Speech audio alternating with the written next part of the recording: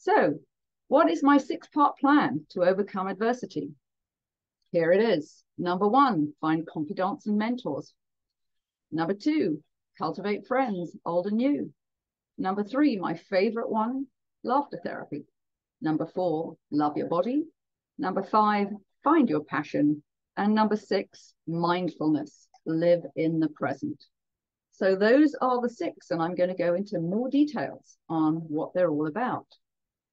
So, first of all, choosing confidants and mentors. So, what should they do?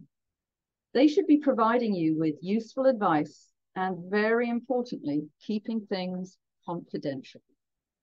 I had a few friends that I had confided in some of my deepest, darkest thoughts when I was going through, in, first found out about my ex husband's infidelity. Um, one of them was uh, very interested in passing all these details onto his circle and, and letting everybody know about um, my dirty laundry. Nope, that's not what you want. You want a confidant who does keep things confidential. These are important people to have as a sounding board, as a way of venting, because some of your friends are not going to want to hear all that negativity. They're not going to want to hear you being down and depressed and venting how bad things are. Um, but a confidant or a mentor, that will be something that they would be willing to do and they will give you useful advice. They can be friends, they're more than friends, they're not just friends, because as I said, some friends will not either not be able to keep things confidential or not be able to provide you much useful advice, or they would not really want to hear all the negativity. But friends or paid counselors, very, very important. And if you're having problems in your career, if you're having problems at work, um, if you're having problems with coworkers, confidentiality is really, really important.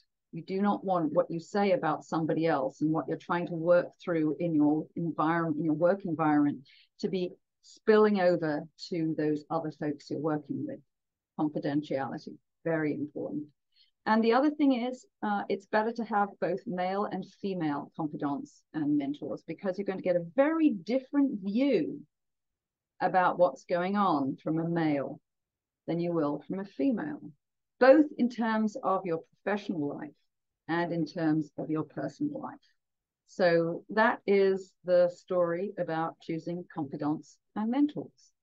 Now we move on to point number two, cultivating friends old and new.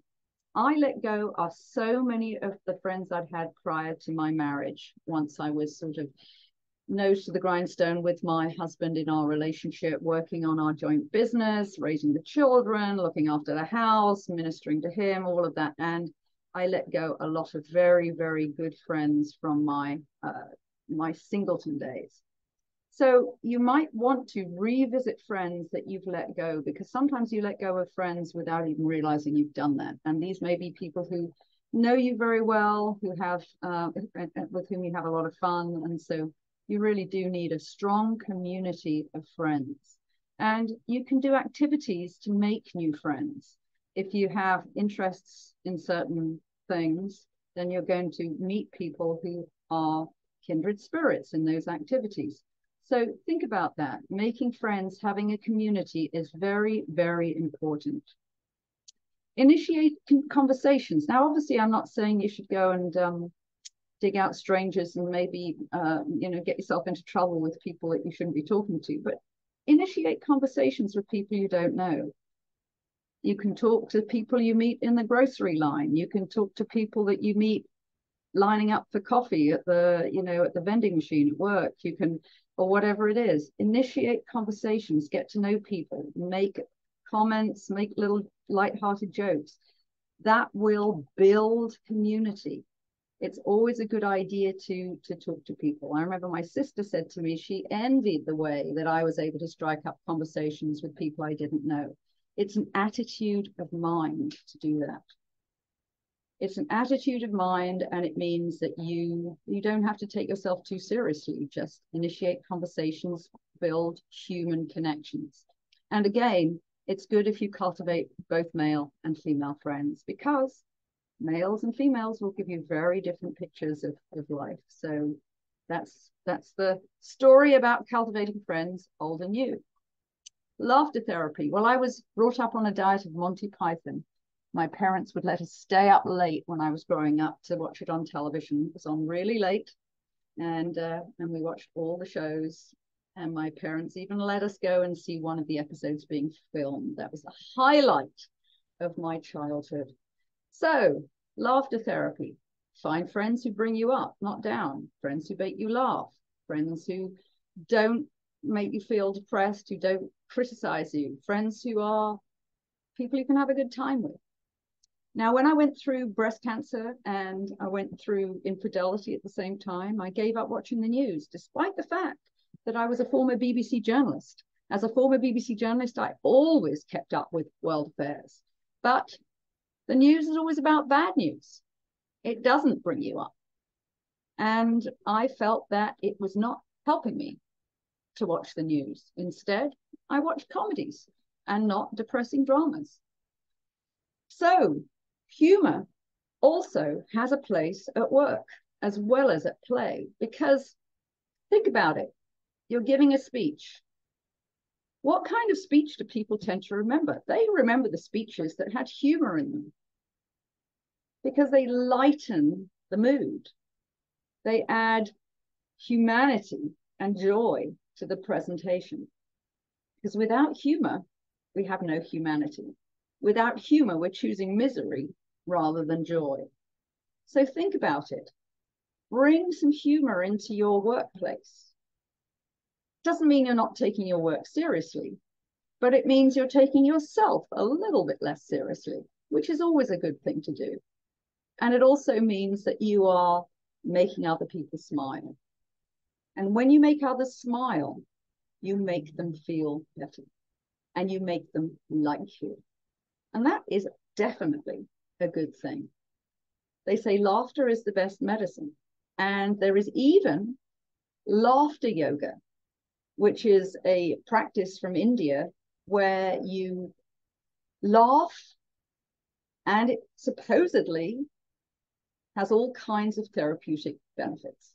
Well, I wouldn't really want to have to do forced laughter. I like laughter that comes naturally from watching comedies, being with people whose company I enjoy, and just having a lighter attitude towards life. So, laughter therapy, very important. And then the next point love your body.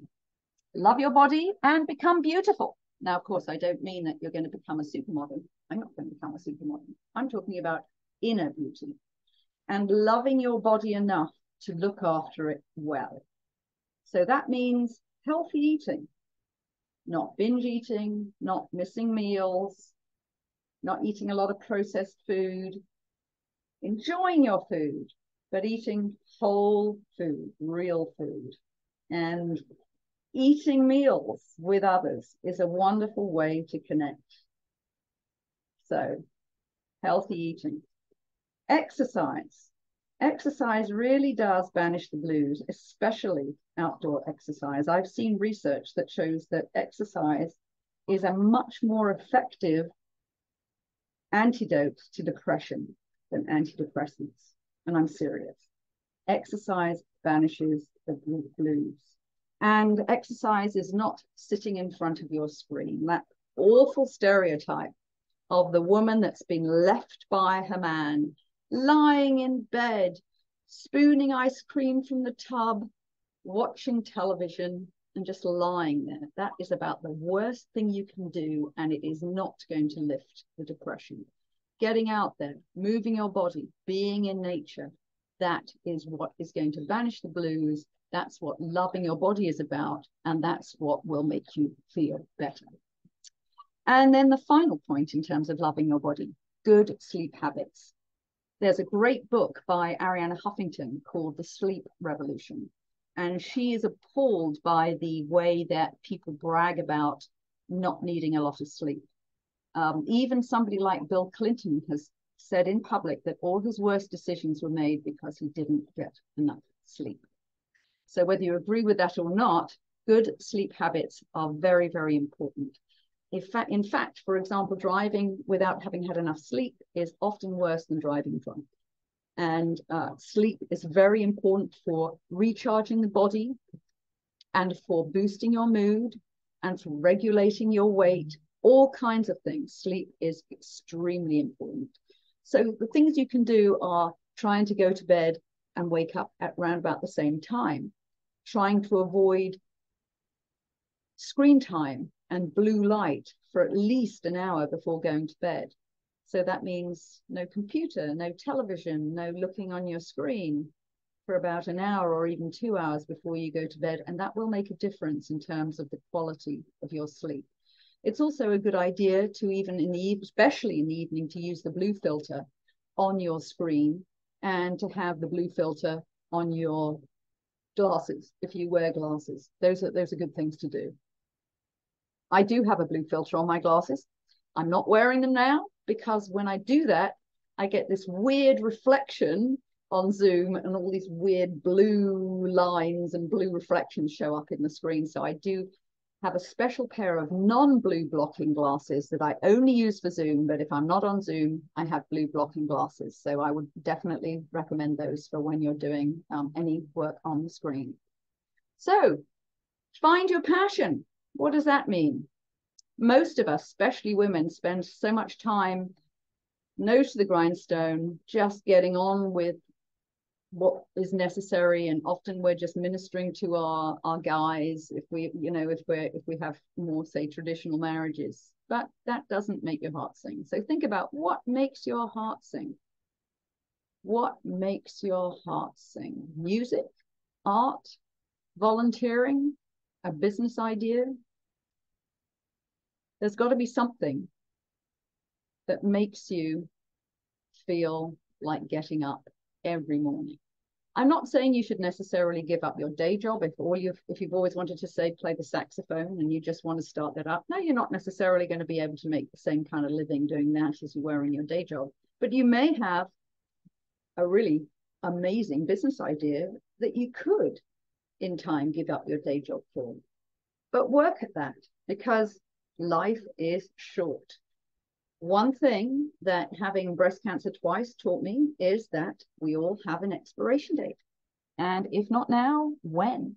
So if you're not enjoying what you're doing, find your passion. Try to remember what it was that you did in the past that you loved, that made your heart sing, and go for that. We all need a reason to get up each morning. And on this point, I want to tell you success is not the same as purpose. You can be very successful in your career. You can be making a lot of money.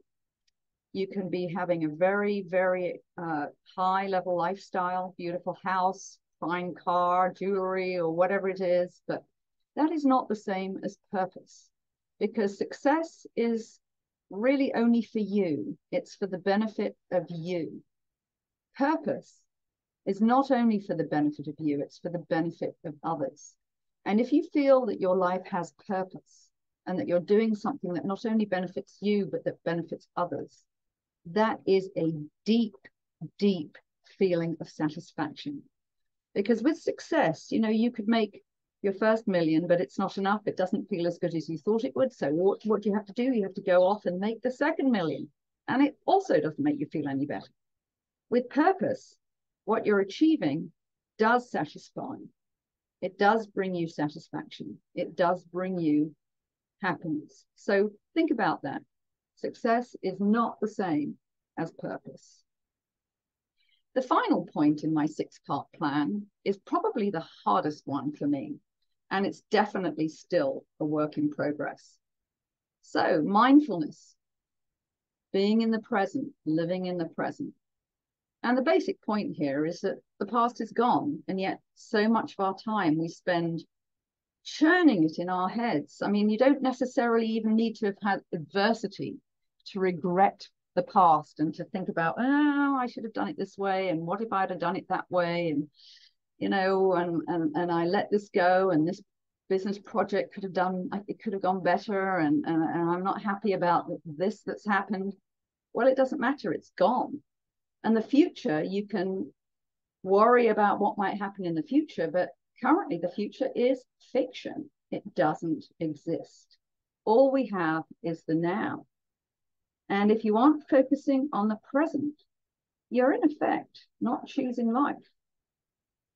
you know, because so many of us, we may be in a wonderful, beautiful place, wonderful scenery. We may be with great people, fantastic conversations, beautiful surroundings.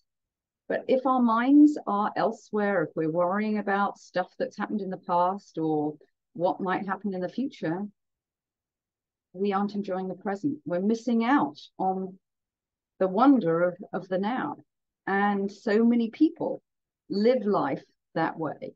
And what I would say to you is, although it's impossible to always live in the now and not think about the past and not think about the future, try to do it more because you will have more enjoyment. And the way I would say it is, is this imagine a party. It's a great party, fantastic food, wonderful people, great music. And if you go there and you're focusing on what's going on, you're going to have a good time. You're living in the present, you're enjoying it. But say you've just been dumped by your boyfriend or you've had a business project that hasn't gone well, and all you can do is think about that. So you go to that party, and your present is very, very different from somebody who is actually focusing on what's going on you're not enjoying it because your mind is not there. So think about it. Think about being more mindful. Think about letting go of the past and letting go of the future. Doesn't mean you aren't planning. Doesn't mean you don't pay your bills for the future. Doesn't mean you don't do things that for now that will benefit you in the future. It just means you don't churn about the future. You don't churn about the past. And one thing that I have that you might be interested in, I'm a committed chocoholic. And there is a wonderful chocolate mindfulness exercise that I didn't invent. It was um, it, it comes from England, and school kids in England do it to learn to become more mindful. All you need to do it is a wrapped piece of chocolate. And if you'd like to do that exercise, I have it as a video on my website. And it's a wonderful exercise that uses all the senses. It uses sight, sound, taste, touch, and smell, all of them, and works at taking the time to really enjoy this piece of chocolate. Enjoy the feel of it in your hand. Enjoy unwrapping it. Enjoy smelling the wonderful chocolate fragrance when you put it to your nose and then feel it in your mouth and taste it in your mouth and then finally swallow it. It's a great exercise. So check that out because that's going to help you become more mindful. And it's a great practice. Whatever you do, whether you're making the bed, cleaning your teeth, whatever you're doing, try to be more mindful. Use it as a practice, and you will find that your life becomes more focused and more happy.